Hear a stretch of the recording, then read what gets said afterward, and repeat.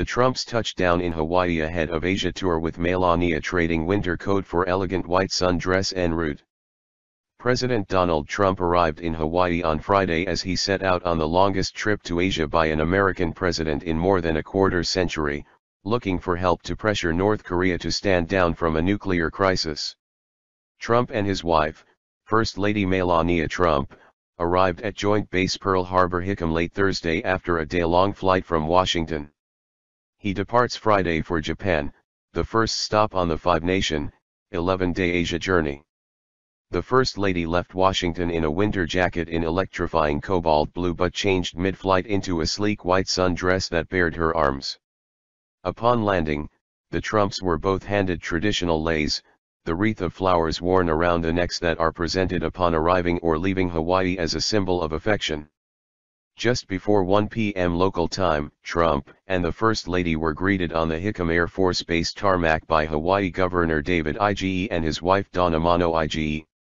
Also on hand to welcome the President and the First Lady were Admiral Harry B. Harris and his wife, Bruni Bradley, according to the Honolulu Star Advertiser. Nine-year-old Michaela Webb, a fourth grader from a local school, gave the couple lei and received a hug from Melania Trump. I'm going to give the president and his wife a lei, Michaela said before Air Force One landed. When asked what she would say to the Trumps, Michaela said, Aloha and welcome to the islands. They wanted a Hawaiian, military girl to offer lei, her mother, Tanya Webb, said. After receiving lei, the Trumps then greeted some of the roughly 150 people who gathered to welcome them to Hawaii. Several of those who waited to see the Trumps were wearing red Make America Great Again hats. It is Trump's first visit to Hawaii as president. In Hawaii, Trump is scheduled to meet with leaders of the U.S. Pacific Command, which oversees U.S. military operations in the region. A key discussion topic likely will be North Korea's nuclear threat, a crisis that will shadow Trump's trip. He'll also meet with the governors of Alaska, Hawaii, and Pacific U.S. territories. Trump will also tour the USS Arizona Memorial, part of the Pearl Harbor site dedicated to the attack that drew the U.S. into World War II. Security and trade will loom large during Trump's first official visit to Asia. North Korea's missile and nuclear weapons programs are likely to be the issue dominating the first part of his trip, which includes stops in South Korea's capital and Beijing as well as Tokyo.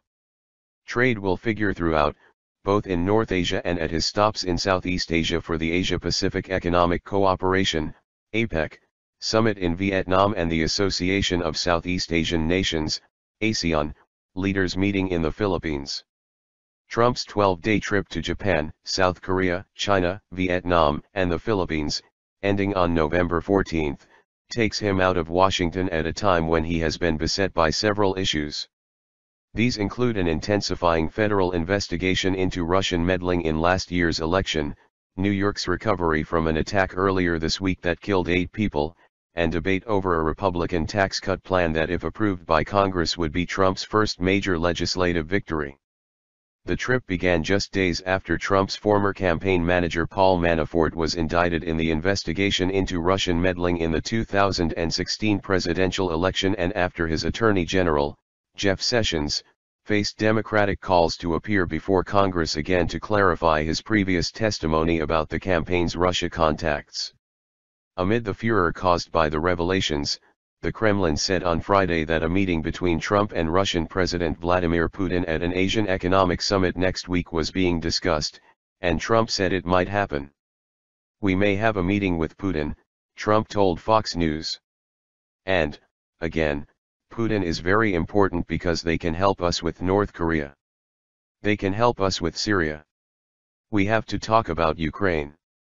Court documents made public on Monday also disclosed that a Trump campaign foreign policy advisor, George Papadopoulos, pleaded guilty early last month to lying to the Federal Bureau of Investigation. The documents cited a March 2016 meeting, when Trump was campaigning for the presidency, and attended by Trump and Sessions, in which Papadopoulos offered to help arrange a meeting between Trump and Putin.